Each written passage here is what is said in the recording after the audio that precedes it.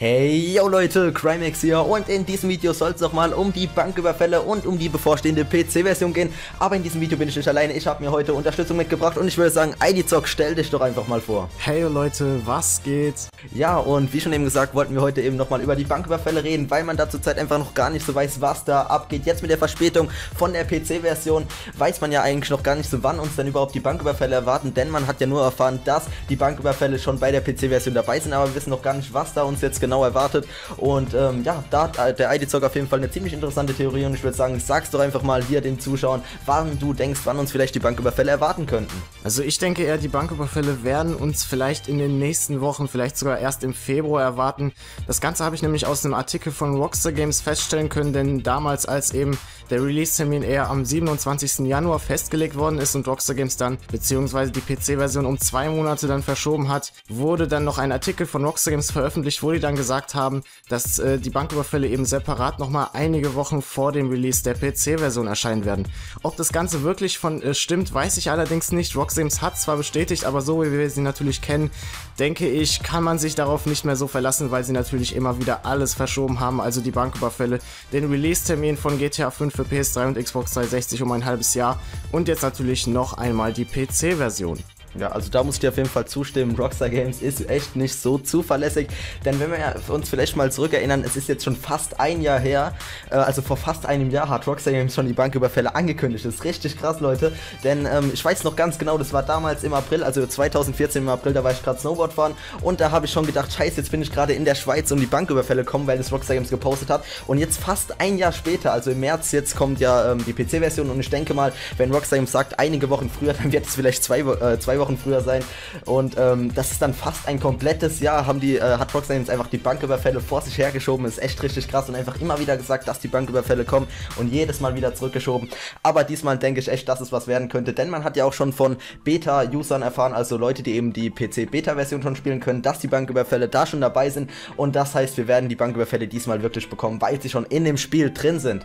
Ja, also deswegen können wir uns diesmal echt sicher sein, dass wir die Banküberfälle bekommen werden. Nur wann genau weiß man eben noch nicht, wie IDZock eben schon gesagt hat, Rockstar Games hat eben einen Artikel gepostet. In dem Artikel stand, dass die Banküberfälle nochmal einige Wochen früher kommen werden als die PC-Version. Und ähm, ja, wann das jetzt genau sein wird, das weiß man momentan noch nicht. Ich habe mal in den Kalender geschaut, denn die PC-Version wird ja am 24. März erscheinen. Ähm, ist natürlich auch ein Dienstag, wie man das von Rockstar Games kennt. Und jetzt, also bis heute, sind da noch neun Dienstage dazwischen. Also neun Tage, an denen die Banküberfälle erscheinen könnten. Ähm, das Ganze streckt sich natürlich durch von Anfang März durch den kompletten Februar bis eben jetzt. Und ich denke auch, also da schließe ich mich auf jeden Fall der Meinung von IDZock an. Also ich könnte mir auf jeden Fall vorstellen, dass die Banküberfälle im Februar erscheinen werden. Denn einige Wochen früher, das sagt ja schon einiges aus. Also es ist nicht eine Woche früher, sondern einige Wochen.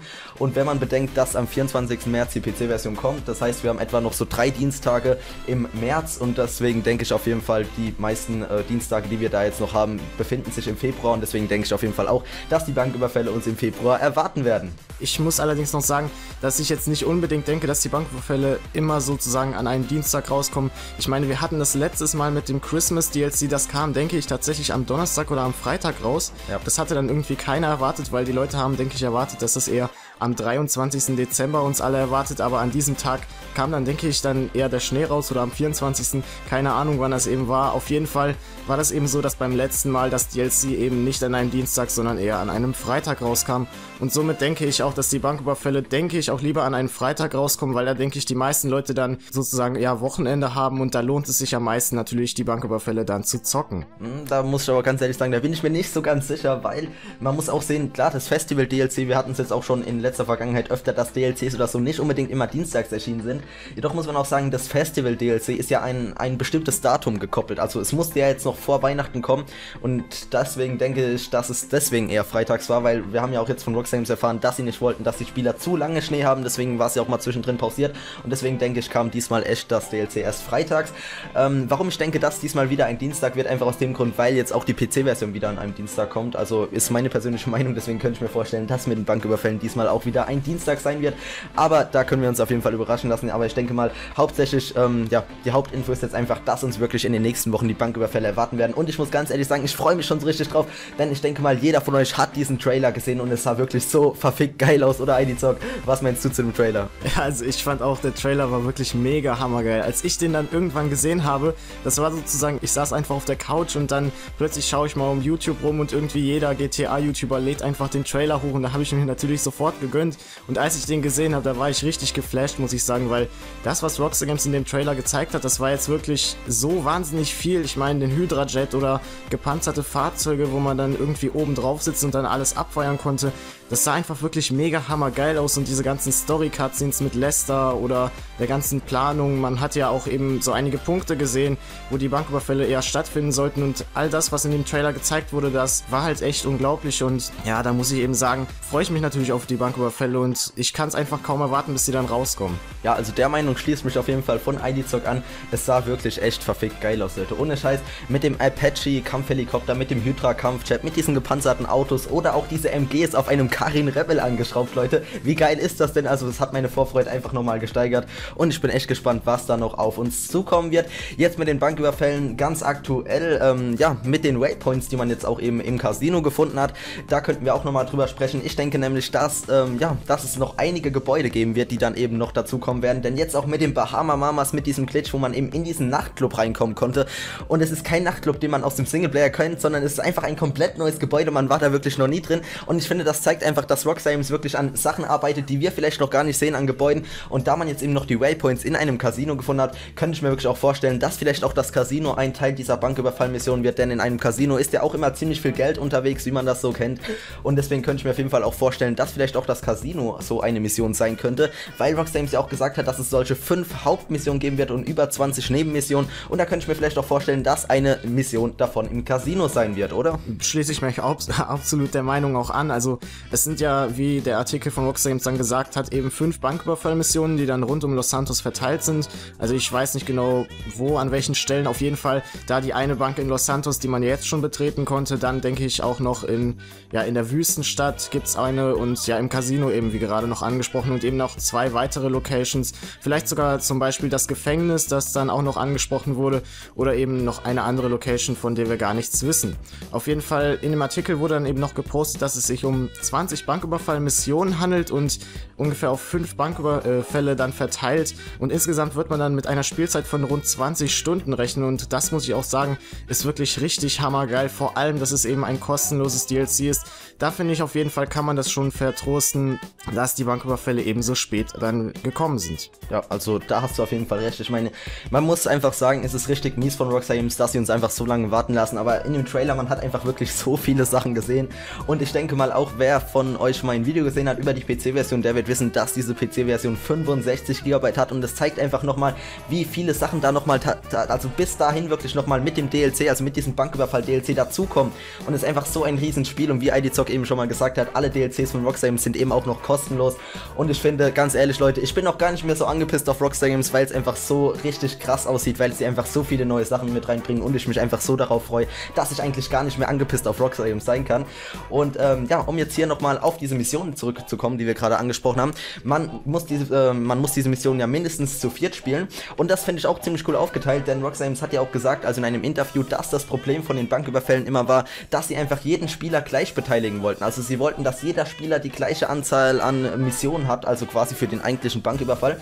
Und deswegen haben sie das so gestaffelt, dass einfach für jeden Banküberfall müssen einfach solche Vormissionen gespielt werden. Davon gibt es ja über 20. Und jeder Spieler, der dann tatsächlich bei dem eigentlichen Banküberfall dabei ist, muss dann eben auch einen Teil der Vormission erledigen. Und das muss ich ganz ehrlich sagen, das finde ich ein richtig gutes Prinzip von Rockstar Games, so dass einfach jeder die gleiche Spielzeit hat, so dass jeder gleichberechtigt ist und dann letztendlich, dass jeder auch gleich viel Geld bekommt. Ja, bin ich eigentlich auch absolut der Meinung. Ich finde, das hauptsächliche Problem, denke ich, bei den Banküberfällen ist halt gewesen, weshalb dann Rockstar Games eher die ganzen Konzepte vom Tisch geschmissen hat und die ganze Zeit den Release-Termin der Banküberfälle eben verschoben haben.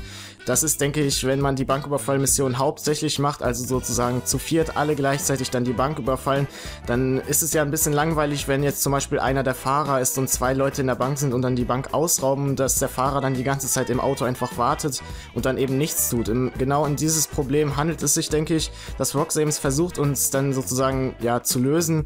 Und ich würde mich auf jeden Fall freuen und würde mal sagen, dass es doch wirklich eine sehr schwere Aufgabe für Rockstar Games ist, dann sozusagen diesen Fahrer auch irgendwie eine Aufgabe zuzuteilen, während die anderen dann die Bank überfallen. Ja, auf jeden Fall würde ich sagen, das ist eine sehr schwere Aufgabe für Rocksames und wenn sie das hinkriegen, würde ich das auf jeden Fall richtig hammergeil finden. Ja, also da, das muss man auf jeden Fall sagen. Ich denke, Games setzt da auf jeden Fall so einen Meilenstein in, also Meilenstein in, in der äh, Spieleszene, sag ich jetzt mal, weil es sowas einfach vorher noch nie gab in solchen Ausmaßen und es wird auf jeden Fall richtig krass werden. Ja, Leute, jetzt zuletzt wollte ich noch was ansprechen und zwar die PC-Version, ja.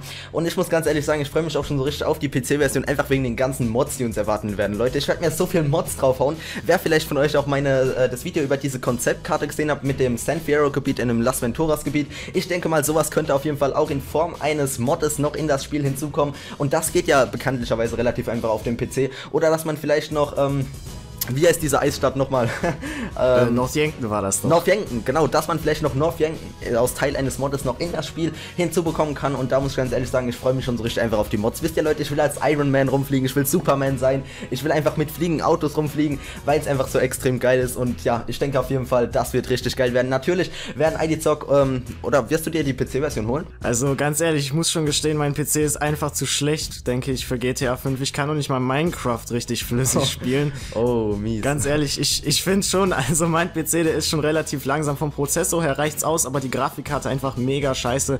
Ich guck mal, ob ich mir das Spiel hole, denn dann, wenn ich mir das wirklich für die PC, also wenn ich mir das wirklich für den PC holen sollte, dann hole ich mir das Spiel tatsächlich zum dritten Mal. Also auf PS3, auf PS4 und dann auch auf PC. Und dann sind das ja schon fast über 180 Euro, die ich dann da rein investiert habe. Aber ganz ehrlich, ich muss schon sagen, irgendwie würde es sich dann schon lohnen. Also, wenn man sich das zweimal holt, weiß ich jetzt nicht, aber muss man eben, ja, muss eben jeder selber entscheiden, wie er das findet. Auf PC würde es sich, denke ich, am meisten lohnen, halt eben wegen den ganzen Mods, denke ich mal. Ja, also okay. Zock weiß noch nicht, ob was sich holt, aber ich werde es mir auf jeden Fall holen. Ich werde euch da auf jeden Fall richtig viele Mods und sowas zeigen. Und äh, ja, ich freue mich da auf jeden Fall schon drauf. Und das ist auch noch ein interessanter Punkt, den du gerade angesprochen hast. Also wir labern jetzt hier einfach mal Freestyle drauf los. Ich hoffe, euch gefällt es. Auf jeden Fall äh, ein ziemlich interessanter Punkt, den du gerade angesprochen hast, mit dem Geld. Ja, Leute. Ich meine, bei vielen Spielen ist ja so, dass man diese einfach für 10 Euro dann auf die Next Gen konvertieren kann. Rocksames hat das Ganze nicht gemacht. Man musste sich das Spiel nochmal komplett neu kaufen. Ich habe es mir auch für die PS3 gekauft, für die Xbox One gekauft, werde es mir dann auch nochmal für den PC kaufen. Und das hast du echt richtig gesagt, das sind an die 180 Euro, die man dann für GTA ausgibt. Ähm, ist echt ziemlich viel, aber man muss halt auch echt bedenken, dass die DLCs kostenlos sind. Und wenn man mal bedenkt, zum Beispiel Call of Duty, wie viel DLCs da gibt und wie viel DLCs man dann in GTA bekommt und ohne etwas zu bezahlen, ähm, ist halt echt ziemlich geil, äh, weil das Spiel einfach immer wieder aufeinander aufbaut und man zahlt dann auch nur einmal dafür und deswegen nehme ich das eigentlich auch nicht so ernst, dass man sich das Spiel jetzt dreimal hintereinander kaufen musste. Oder was meinst du dazu? Ja, also finde ich auch, ich bin schon absolut der Meinung. Also ich meine, wenn mein, wenn mein PC sozusagen der Leistung entsprechen würde, dann würde ich mir das Spiel auch auf jeden Fall nochmal holen. Ja. Ähm, Aber mal schauen, ne, ob ich mir das holen werde. Ja, vielleicht hole ich mir dann eine bessere Grafikkarte und dann noch GTA 5. Würde sich äh, besonders als YouTuber, denke ich, auch lohnen, die ganzen Mods dann vorzustellen, wenn die mal irgendwann rauskommen. Ja, ich denke auch, dass das ziemlich interessant ist. Ja, Leute, aber ich würde sagen, ähm, wir beenden das Ganze jetzt hier einfach mal. ist schon ziemlich lang, wie wir hier jetzt gelabert haben. Wir hoffen natürlich wie immer, dass euch dieses Video gefallen hat. Wenn es ist, dann brüllt jetzt immer auf den Like-Button ein für einen größeren Bizeps. Und jetzt am Ende wollte ich noch sagen, schaut vielleicht mal bei IDZock auf dem Kanal vorbei. Der ist gerade kurz davor, die 10.000 Abonnentenmarke zu knacken. Er macht auch GTA-Videos, würde mich auf jeden Fall richtig freuen, wenn ihr bei ihm mal vorbeischauen könntet. Der Link dazu ist unten in der Videobeschreibung zu finden.